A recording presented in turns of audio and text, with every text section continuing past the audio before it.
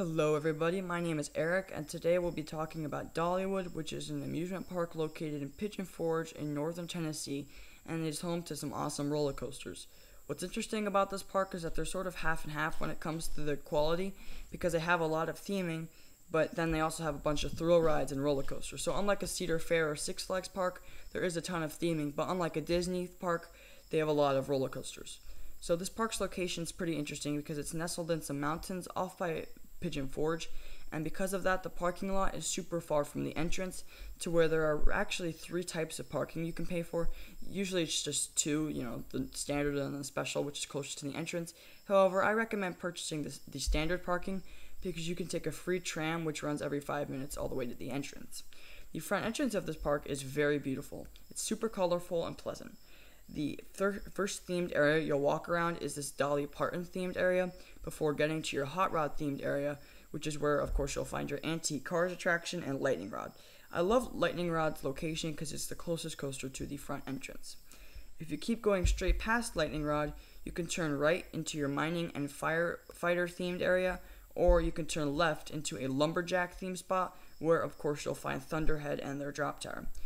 Dollywood's layout is pretty awkward because Lightning Rod is the only roller coaster anywhere near the entrance, with all the other roller coasters being in the back, so it's pretty weird.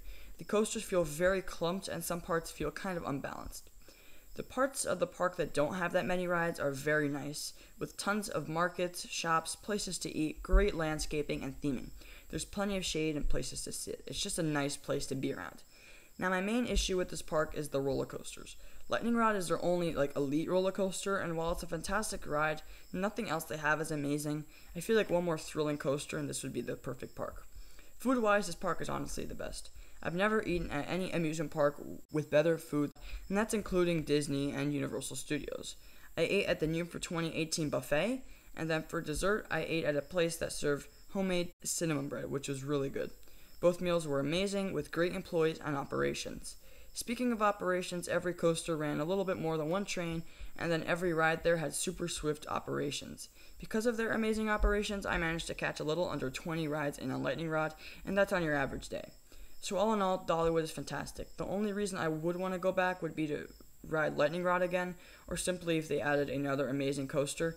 But my one visit there was amazing, and I think everyone should have this park on their bucket list.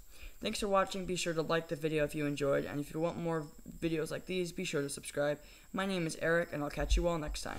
Bye, guys.